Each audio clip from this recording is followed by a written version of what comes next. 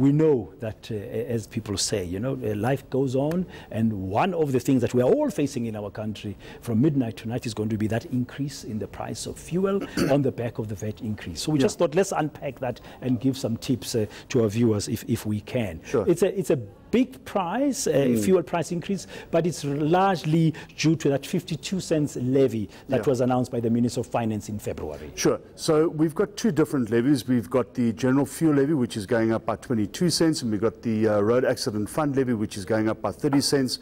Both of these 52 cents, uh, the price of fuel is going up by 72 cents uh, as of midnight tonight, and it's a big price increase. I think we're looking at around 14 rand 20 for a litre of petrol. We're touching highs that we had in December last year of 14 rand 76, um, and it is certainly bad news for consumers.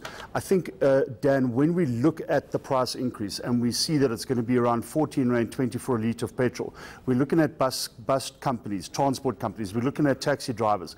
They're looking at these increases. They're saying, okay, this is a lot of money we're going to have to spend to fill our tanks. How are we going to recover that money? We're going to pass it on to Dan, we're going to pass it on to Layton, and that's how it's going to work. So when you look at consumers who now have to pay more for goods and services through the VAT increase, um, they're now also going to have to pay more for transport uh, and, and for goods and services that are transported to them. So it is a big problem. I was thinking, I mean, if, if you're a taxi operator and it was just the fuel increase, you might think, hey, I could wait a little bit and absorb some of that. Yeah. But with the VAT on the back of that, as you said, it's like a double whammy for you. Sure. So we, we might likely see uh, some taxi fare increases in the near future. I have no doubt we're going to see some taxi fare increases, and for us as the Automobile Association, we are extremely concerned about these increases.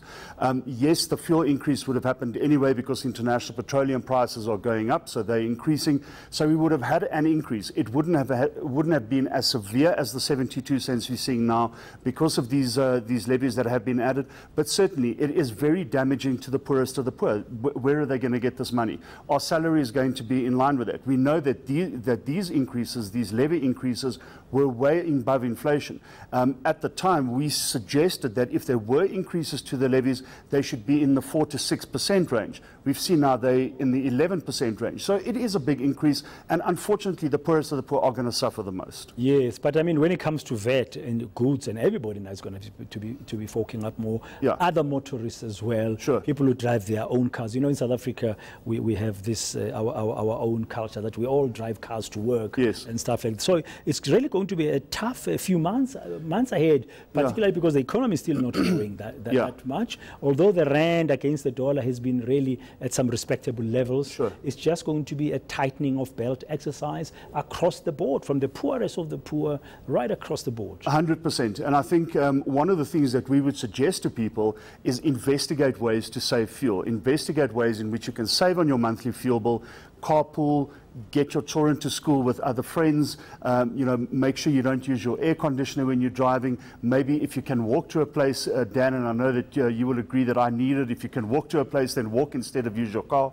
Maybe use your bicycle instead as well. Um, you know, these are the types of things we would suggest to people. But certainly, tighten your belts, and it's going to happen over the next couple of months. I think we are also predicting um, if uh, the international petroleum prices continue to, to increase, we may see increases going further into the year. Currently, the trend has been a little bit upwards. Am I wrong? The trend in terms has of been upward, international yes. fuel price hikes? Yeah, the trend has been upward. Look, it's been offset by a pretty stable rand, but I think we've seen since the middle of March the international petroleum prices have really gained a lot of ground. So, um, you know, if that trend continues and the rand doesn't stabilize against the US dollar, I think we could see more increases in the next few months. Yeah, and then and then fuel, fuel wise, I mean, just from an AA perspective, from the the levy is a once off, but it's it sits embedded in Yes. the price going forward. Yes. So no matter what the markets are going to do, fluctuating, you are still going to be having to fork out a 52 cents extra anyway. 100%. So when So you when you look that's it. ahead of the next six months, so to speak, and you are a driver, you're really going to have to think hard about uh,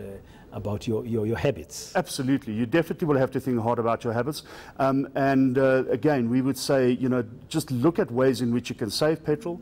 Uh, carpool, maybe look at, uh, at, at other things. Lift that you can do. clubs. Look, Lift when you say carpool, it's things Yeah, like, like lift clubs, you know, can, can I get my kids to school with friends that live around the corner, that type of thing. Yeah, I don't want to be uh, pessimistic, but I mean, if you look ahead uh, from Mm. an AA perspective, uh, we are in an upward kind of trend in terms of fuel prices. It's very difficult to predict because obviously obviously we need to look at what's happening with international petroleum prices. If they do continue to rise, then certainly. And we also need to look at um, the other main driver of the fuel price, which is the rand US dollar exchange rate. If that does stabilize, come down a bit, then maybe we could see decreases. At the moment, I think for the next two or three months at least, we are looking at an upward trajectory. Thank you very much for your time, Layton. That's a Layton Beard from the Automobile Association of South Africa.